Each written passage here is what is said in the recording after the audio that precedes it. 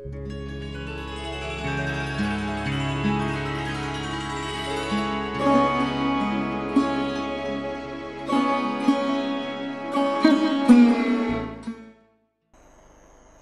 afternoon to all of you. We have reached towards the end of the workshop and this is the live question answer session. However, we will be in touch through Moodle at least for the next one year and we have hope to get many more questions through Moodle. Uh, one question which was asked earlier, let me answer that uh, which, which I had postponed uh, as I had not completed the topic on Navier-Stokes equation. The question was uh, difference between a segregated solver and a coupled solver. Now, uh, as whatever was taught here in this course is you can consider it as a segregated solver where we solve one equation at a time and this is what is used on what we call as fully incompressible and weakly compressible flow problems. For uh, comp highly compressible flow problems, uh, density based formulations are used which are solved in a coupled manner. If you have any questions, please ask. So the question is uh, regarding the grid transformation which you today explained. Now when we transform the grid and the it is changes from physical to the computational plane, the governing equation of continuity, momentum and energy, do they also get transformed or not? So the question is, uh, in today morning in grid generation, I had mentioned that for the purpose of grid generation, uh, we are transforming to make the procedure easy, it is just that we are defining a hypothetical plane which we are calling it as a computational domain and obtaining the grid in the physical domain. Now the question is, this is as far as generation of grid is concerned. Now whether we transform the fluid mechanics equations also. Now there are two part of this, uh, now there are two answer up to this question. Earlier people when they used to solve by finite difference method, they used to transform the governing equations also. But nowadays when people are solving by finite volume method, then they do not transform. So the same govern equation, the finite volume method which has been discussed here is used without any modification. So there is no change in the equation, it is just that we get coordinate of the vertices of the control volume from the grid generation procedure, then we forgot forget about that transformation in the solution methodology. Thank you. Kolhapur Institute of Technology. When it comes to UG program CFD subject, uh, would, would, would you like to suggest some uh, books and the syllabus content? The question is when it comes to the undergraduate uh, computational fluid dynamics course, uh, whether we would like to suggest some syllabus. If you want a suggestion, in fact I and Professor Puranik had done this exercise for here and when we were proposing full CFD course, we were we had thought about it. So maybe we can put that syllabus jointly from our side in the Moodle. Professor Puranik will add to it. Um, yeah, let me quickly add to this. Um, actually, I think uh, if you go through the entire set of slides that uh, that we have covered here, uh, if you if you focus only on the finite volume part, and perhaps a little bit on the uh, initial governing differential equations of uh, fluid mechanics, etc. Those two put together um, in a very methodical fashion can uh, can constitute a really good undergraduate uh, um, CFD class. In fact, um, uh, the the CFD class that we offer here, which is typically for um, final year undergraduates and first year postgraduates, is more or less based on the uh, the finite volume part that uh, Professor Sharma has covered with a little bit of addition from uh, here and there. So in that sense, um, maybe you can use that as a framework and um, uh, you can you can actually design your own course based on that. That that's what my suggestion would be at least. Thank you. Sir, uh, one more question here. Uh, when we are conducted a lab sessions, there we observed negative Grashof number uh, how we can interpret this one, sir? So the question is that uh, uh, in lab session we had given a negative Grashof number. So let me open the slide corresponding to that. Let me show you the problem and then discuss it. Uh, when the Grashof number changes direction, I mean a positive to negative sign, then there is a change in the direction of the buoyancy force. So let me show you the problem and then discuss that. I think we had discussed it, we had given that problem for forced mixed convection. So in this case, if the Grashof number is positive, then the top plate is hot as compared to the bottom plate and then the hot fluid remains close to the top wall and vice versa when it becomes negative then the buoyancy induced flow is upward. So there is more rigorous flow circulation when it becomes negative as compared to when it is positive. Thank you. So it's just that when changes signs the direction of buoyancy forces change. Thank you, sir. Over to you. Amrita School, Bangalore. Yes, sir. I have two questions. So first one is, you told the need of staggered grid with some particular term. So this term mm, making the necessity of staggered grid and remedy is staggered grid. So I need uh, once again the explanation, sir. And second question is, you told about semi-implicit uh, simple algorithm, semi-implicit technique.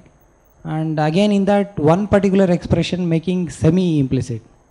So that uh, can be make it as a full implicit as you was telling. So I, I need some more explanation on that particular expression, sir. And uh, the last question is, uh, we come across always the dilemma of using whether Fortran coding or C coding or C++. And some people will tell this object-oriented programming is much more helpful. So I need your opinion in that sort of. There are three questions. The first question is on uh, the need for staggered grid, although I mentioned, but further clarification on that. I had mentioned had, uh, the term which is used, which causes the need for staggering of grid.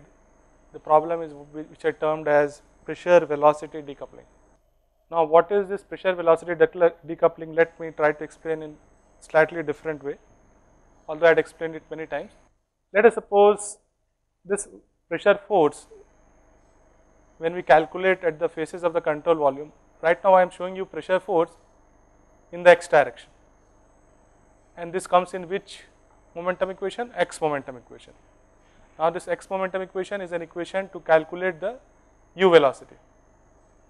So when you are calculating u velocity, if you use linear interpolation to calculate pressure at the face centers, then you end up with an expression that to calculate velocity of node P, you are having an expression which involves alternate neighbors, which does not involve pressure of the same grid point.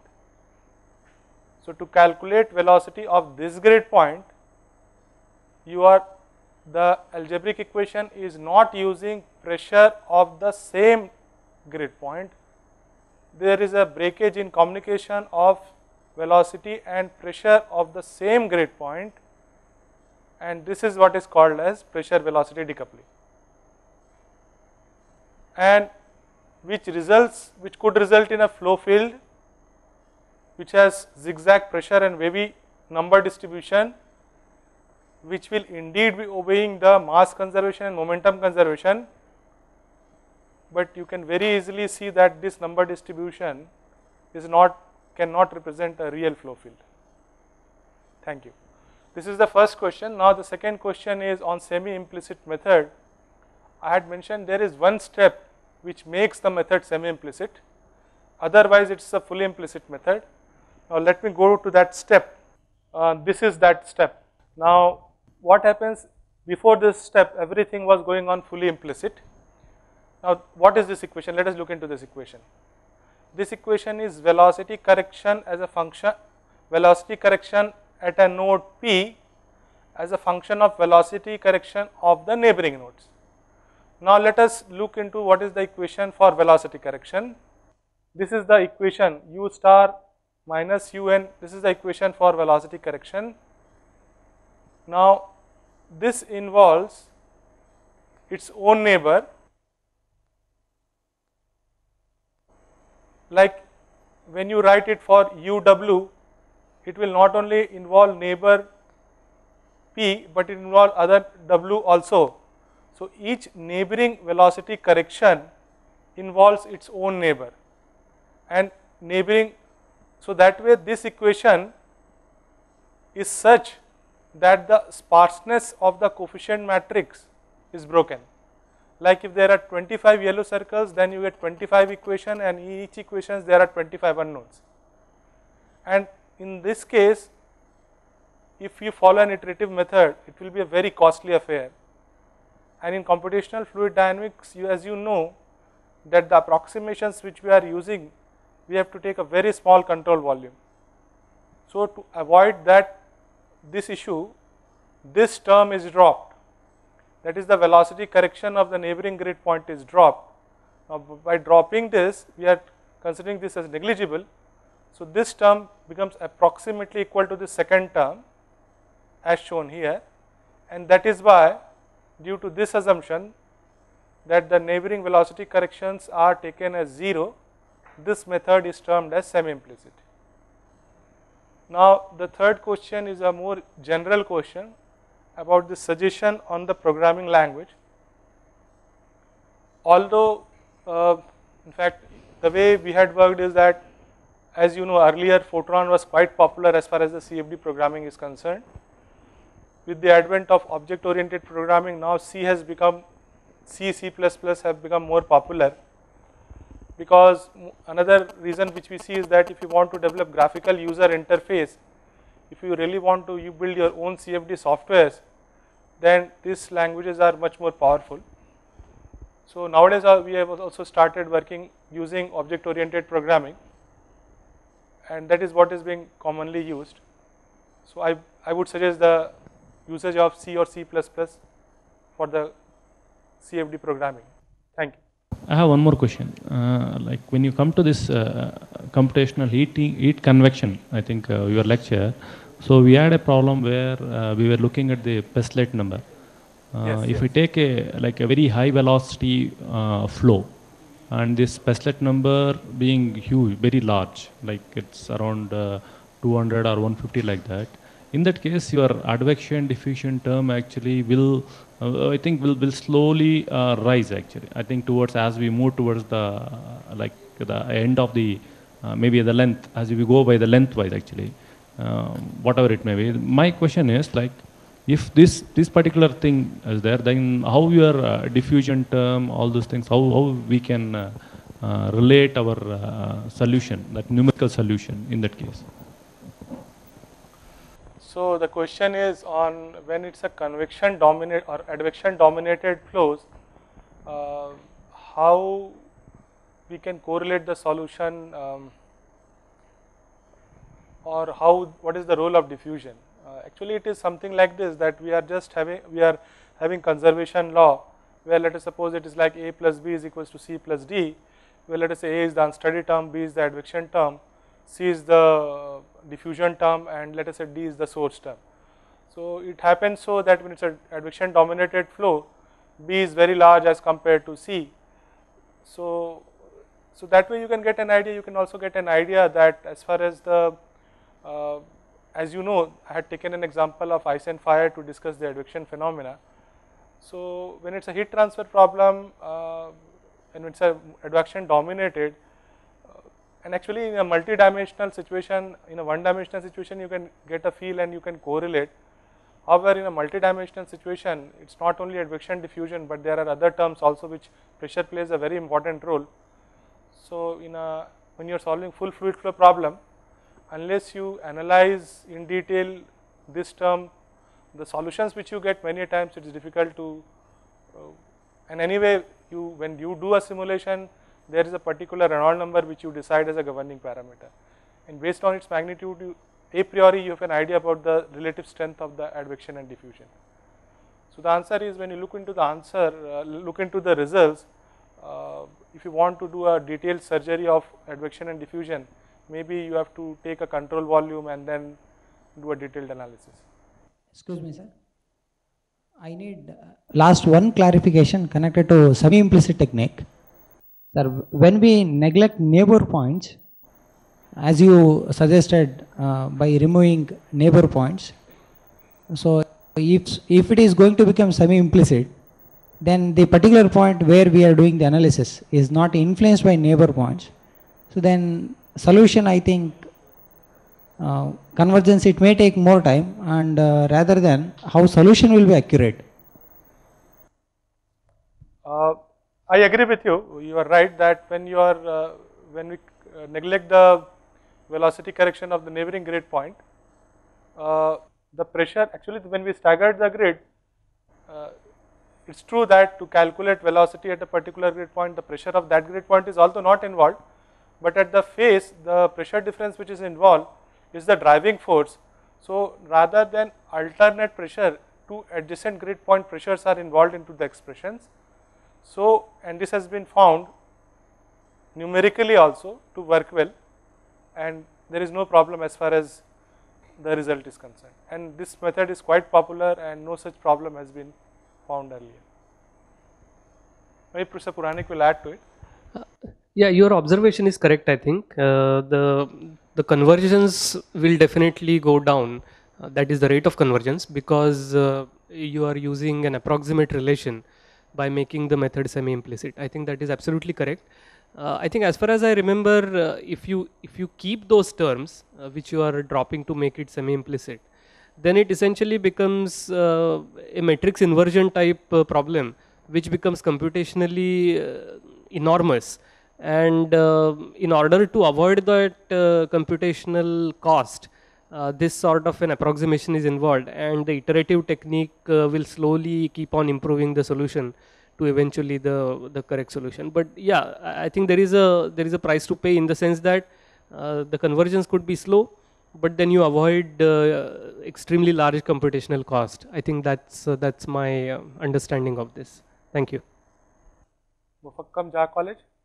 So for a transient problem, for a transient problem, when explicit method is used, uh, which is preferable, whether it is uh, iterative time adva advancement or non-iterative, and why? What is the reason? And that is my first question. Uh, second question is uh, when we are assigning initial guess, so to which node we uh, assign? Is it for the next node or what exactly that is? That I am not clear.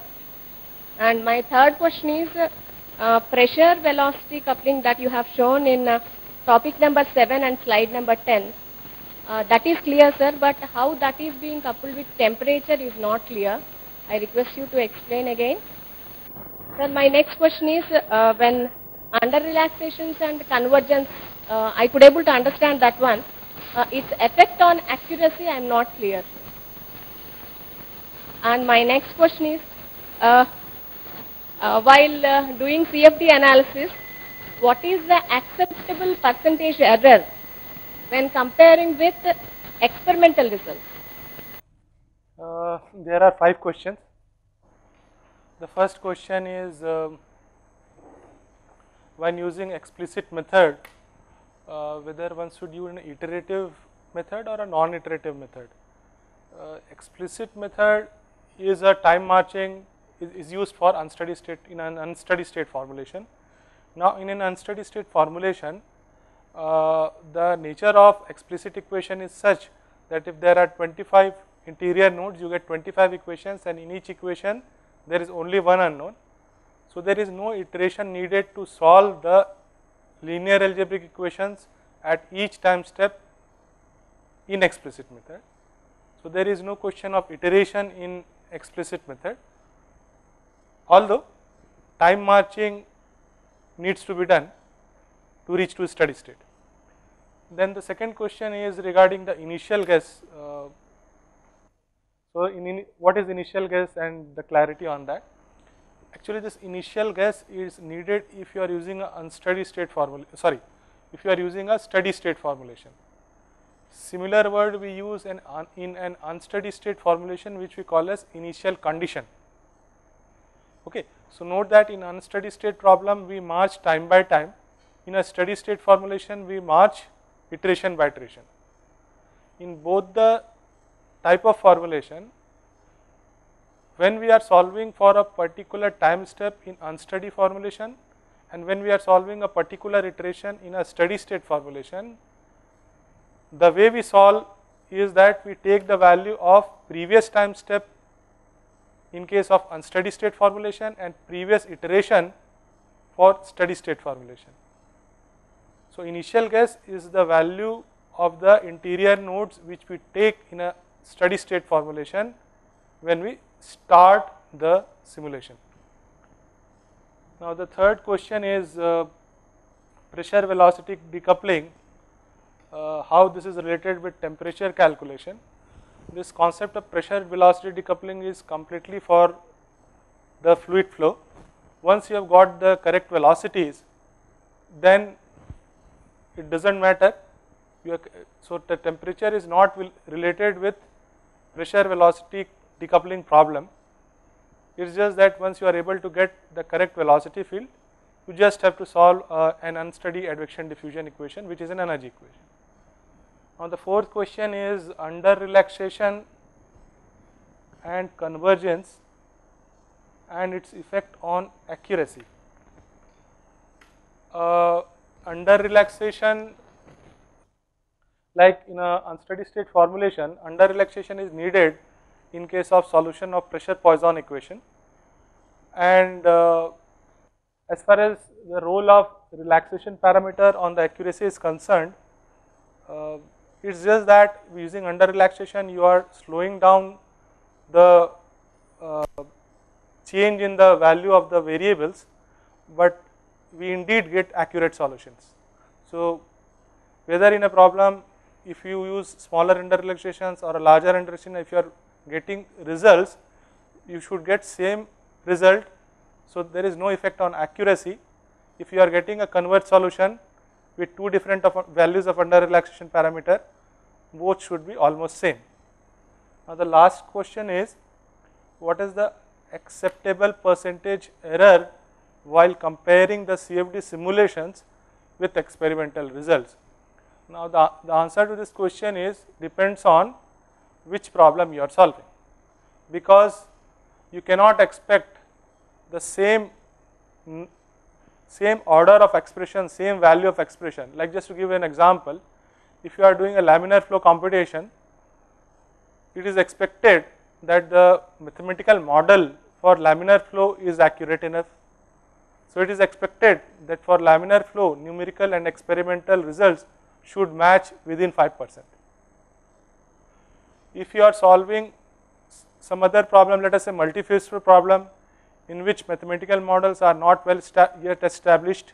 So, in those cases even percentage error as high as 15 to 20 percent are considered acceptable. So, it depends upon the problem and you need to understand and know how good is the mathematical model with which you are solving the CFD problem.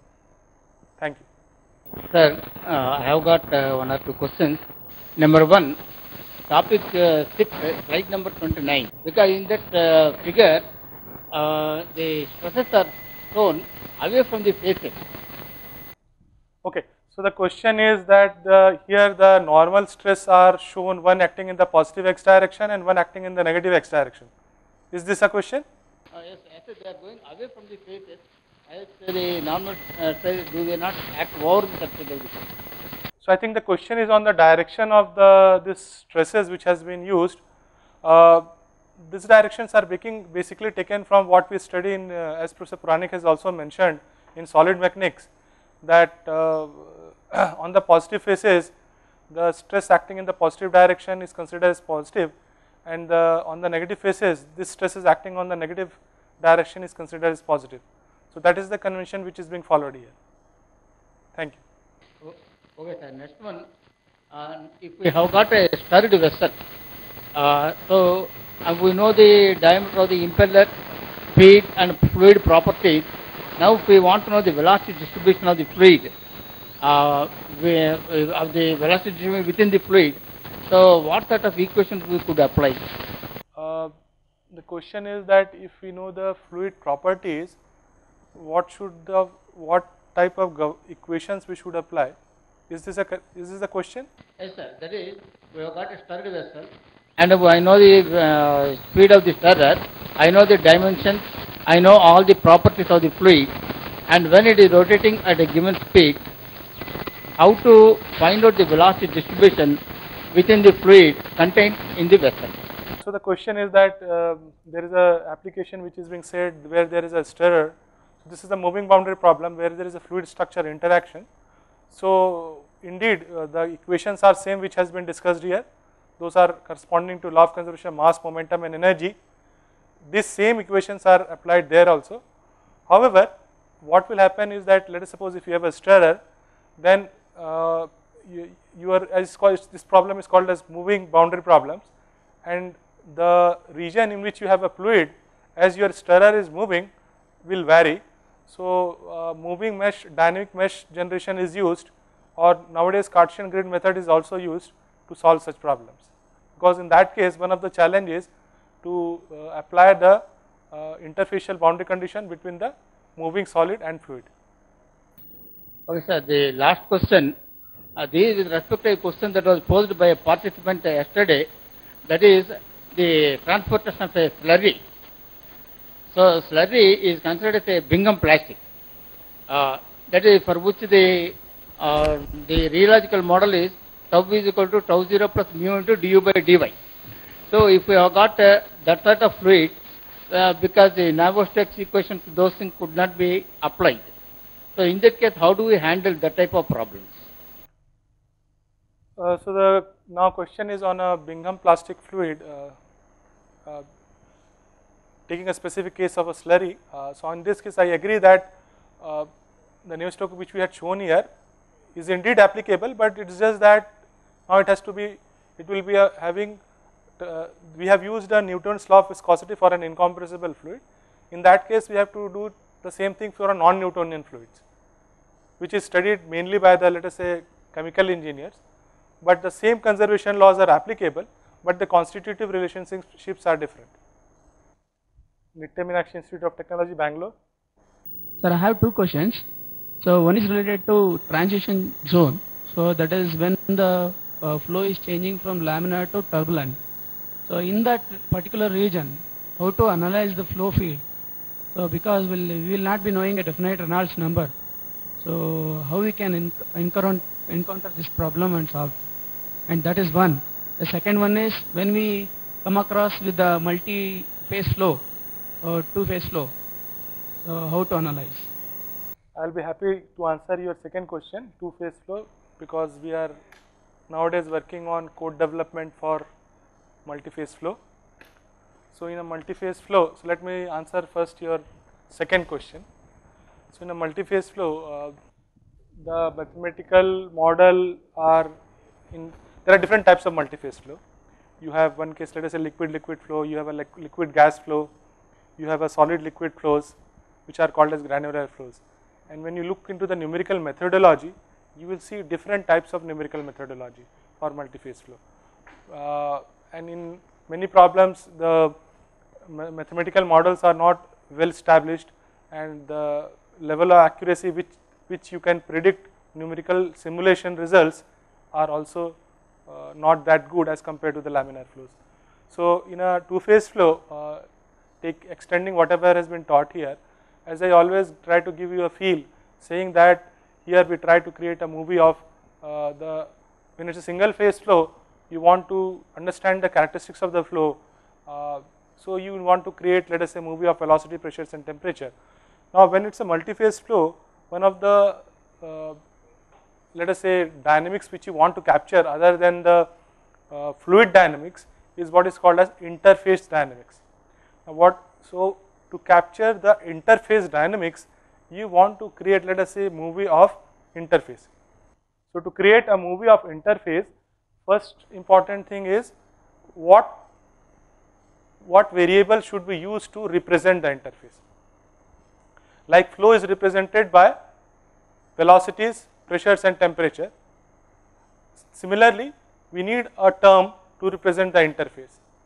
So, this is one thing. Secondly, once you have represented the interface, then you need to come up with a mathematical model to capture the temporal rate of change of interface. So, first representation, second mathematical model to capture the temporal evolution of the interface. Okay. Once you are done with these two things, then actually the interface motion is coupled with the flow.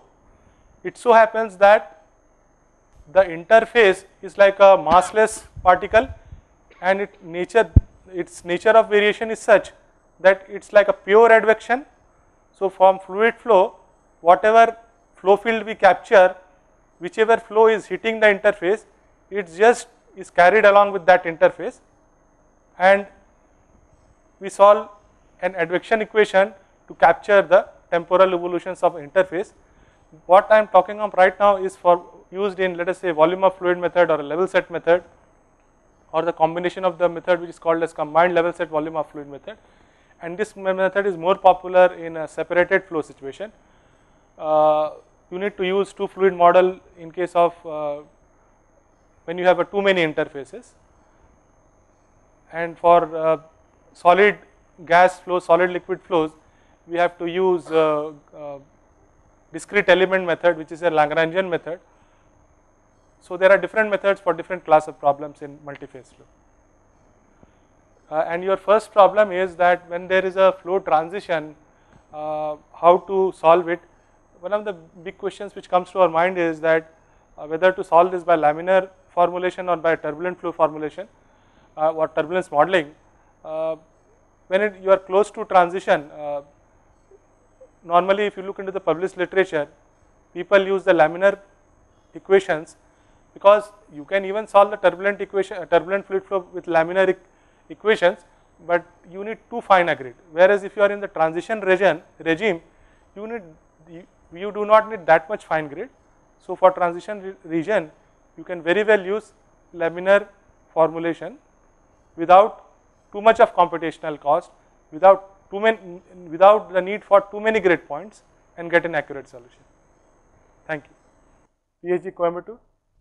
Topic number 3 and slide number uh, 10. In the special topics on computational heat conduction, you have explained that that uh, tangential heat flux at the node j comma i max minus 1 is equal to tangential heat flux at the node j comma 1 uh, that day night I worked in my home, I come uh, with the an equivalent result that temperature at the node j comma i max is equal to temperature at the node j comma 2 for the same condition. Is it, am I right sir? Yes, yes, yes. Uh, yeah, you are absolutely right.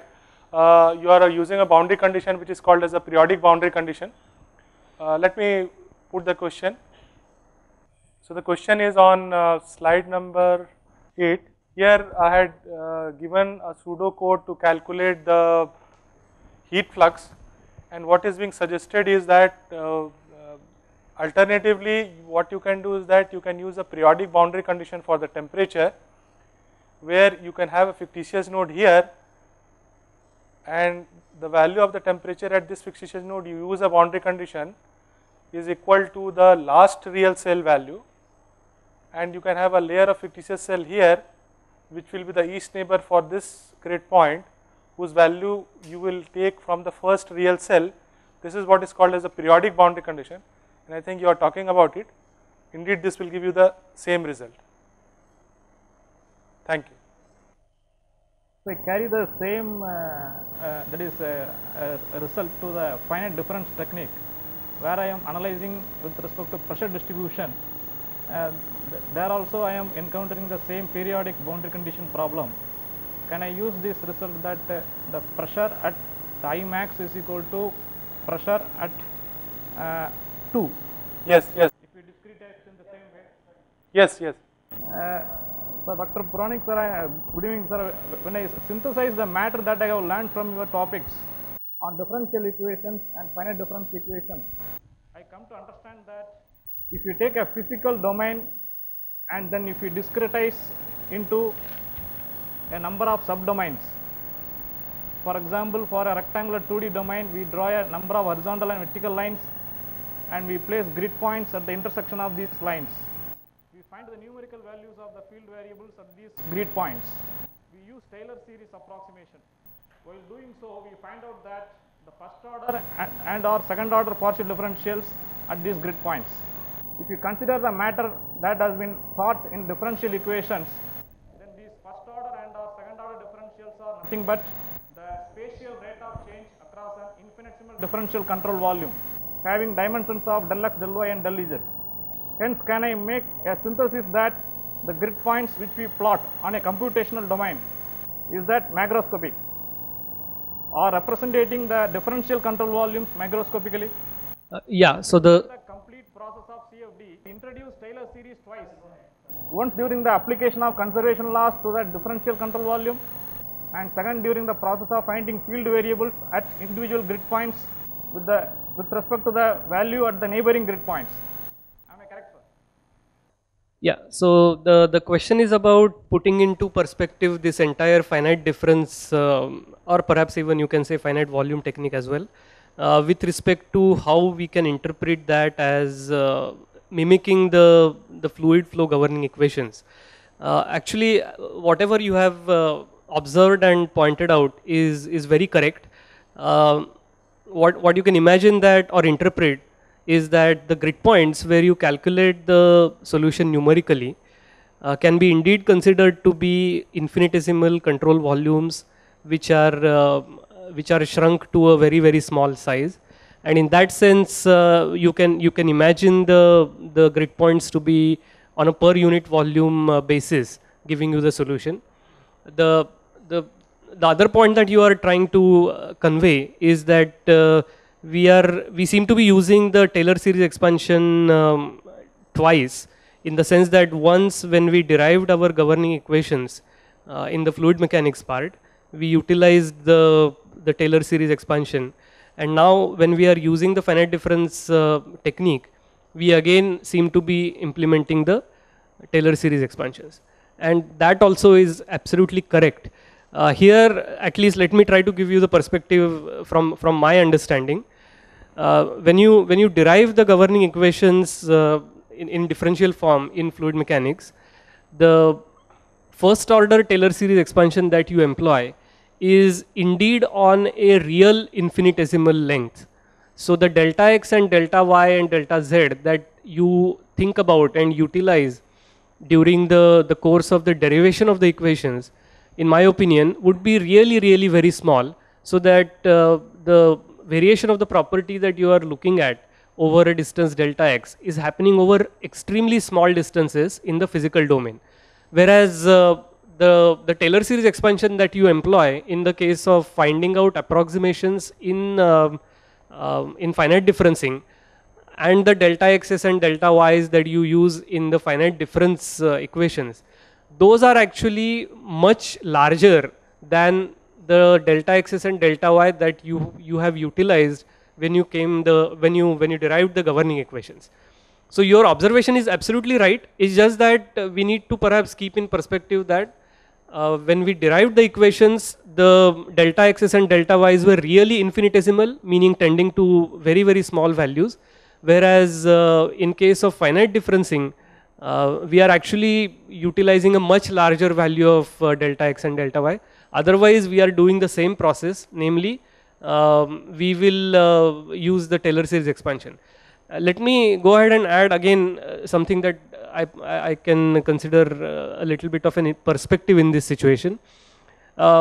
even though you use, let's say, a first order formulation in both the governing equations as well as for a finite differencing, uh, you will you will see that the finite difference solutions are going to be uh, more approximate than the actual solutions let's say if they exist and the reason is again uh, to me at least is that the discretization lengths delta x and delta y that you are using in the finite difference formulation are much much larger than what you have imagined to be using in uh, in the case of governing differential equations uh, hopefully that uh, that answers your question thank you uh, hello, sir. Uh, in case of, uh, in, in, most of the books, K epsilon turbulence model has been explained at the end of the books. Uh, sir, uh, can you explain brief about this, sir? The question is about the K epsilon turbulence model, which we had not discussed here. However, I would like to point out that in case of turbulent flow, this K epsilon model which is quite popular, uh, basically you have a transport equations which is also an unsteady advection diffusion equation with a source term. So there is one equation for K and there is another equation for epsilon. So you have two different equations which is also an ad unsteady advection diffusion equation and they are solved using the procedure which has been discussed here. So the same finite volume method which is used here is used in discretization of those and solution of those. Once you have obtained k and epsilon then turbulent diffusivity is calculated through an equation. Thank you. Uh, yeah, let me just add to that. Uh, uh, so the K which is uh, the turbulent kinetic energy and epsilon which is the dissipation, um, those terms and their uh, governing equations which are essentially uh, what Professor Sharma said are the advection diffusion equation. Uh, they require actually sufficient understanding of the turbulent flow mechanism before you can actually go ahead and derive those. Um, it is way beyond the scope of this present class to talk about uh, turbulent flows and in particular the turbulence modeling. Um, however, when we put up a list of uh, reference books, uh, hopefully by tomorrow on the Moodle, we will include a few which will deal with this kind of derivations and a discussion about those uh, so that you can refer to those. Thank you. Sir, there is one more question. Is it necessary to have experimental validation for uh, every CFD problem? Question is, uh, is it necessary to have uh, experimental validation for every C CFD problem? If you had asked this question maybe 10 years back, the answer was yes. But now CFD has gained lot of confidence and even if you validate with a good numerical results, it's not necessary to have an experimental validation. Thank you. NIT Warangal. Seen a problem on uh, moving source turn in a 2D conduction problem. Can you uh, throw some light on how to model such problems, how to implement uh, the code details? The question is towards the end of today's lecture, I had taken a topic on uh, grid generation and I had shown you an animation for moving source and I had shown, I told that there is a method which is becoming quite popular. In fact, there are some software companies who had come up with this method and there are some well established companies who are trying to implement these methods. Unfortunately, that slide is not there, but uh, that is called as adaptive multi-level grid generation. I had not discussed the methodology, how we solve the Navier-Stokes equation. I had just shown you the grid generation. However, if you are interested, I will be happy to share some literature where that method has been discussed. This method has been quite popular in compressible flow and is becoming popular for nowadays becoming popular in incompressible flow due to uh, problem of mesh generation for moving boundary problem after every time step. So, uh, what the your question is, uh, it needs lot of, uh, I need to discuss the method which is quite involved. I can show you the reference, but at this moment it will be difficult to discuss in total. Thank you. Uh, sir, where do you, uh, where do we, where do we find such problems in real-time applications? Uh, that moving source problem which we had done is a basically a test problem.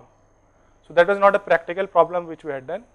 We had developed a method and we wanted to test that method. So we took that problem and that problem you can call it as a hypothetical problem, but it's a very good test problem.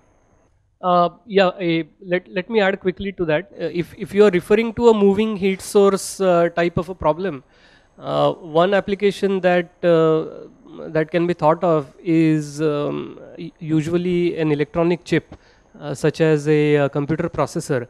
So, what what happens in a computer processor is that at different instants, different regions on the on the chip are actually generating power depending on how the data is moving etc so that's from a from a thermal point of view it's uh, it's like a problem of a moving uh, heat source in in a substrate or uh, or in a medium. So that's that's one example.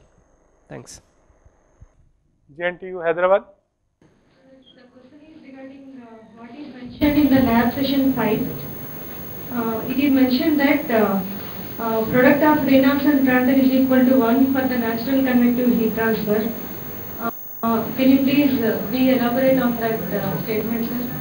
how the, um, I guess the product of Reynolds and Prandtl is Peclet number, which represents the relative dominance of convection to diffusion? Uh, kindly elaborate on this.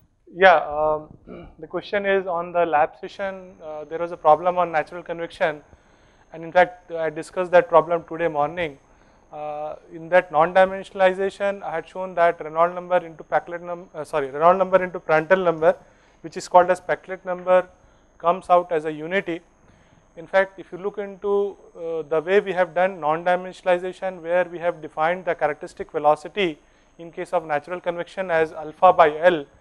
So if you take, if you do a non-dimensional, if you start from a dimensional form and uh, see the non-dimensional form, you will realize that indeed Reynolds number into Prandtl number comes out to be unity. So you need to work on, uh, I am exactly right now not remembering, but I had worked on it and found that this for this type of non-dimensional representation, it comes out to be unity. Thank you. The physical significance of uh, Peclet number being 1, can you please explain that sir, for natural convection? Uh, the physical significance of Peclet number is equals to 1. Uh, the Peclet number is in an uh, uh in a natural convection it comes in an energy equation itself 1 upon Peclet number represents a diffusion coefficient.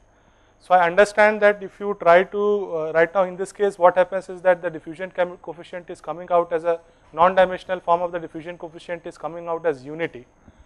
Uh, so I can understand that uh, having a diffusion coefficient unity where do not have you, you do not have a control over the diffusion coefficient, it does not happen quite often, but in this case as we had a situation where we do not have a characteristic velocity, and this was a closed cavity problem.